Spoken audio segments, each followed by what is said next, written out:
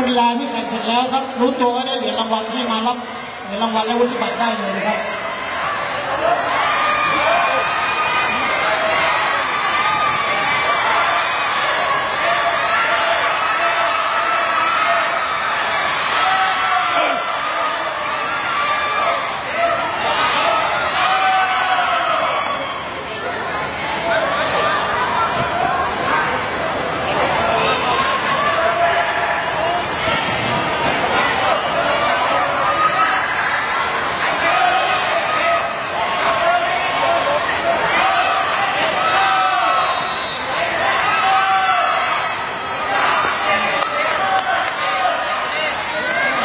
หมดเวลาครับหมดเวลา